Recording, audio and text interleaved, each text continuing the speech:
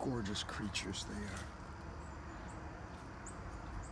You go take her out by the flowers.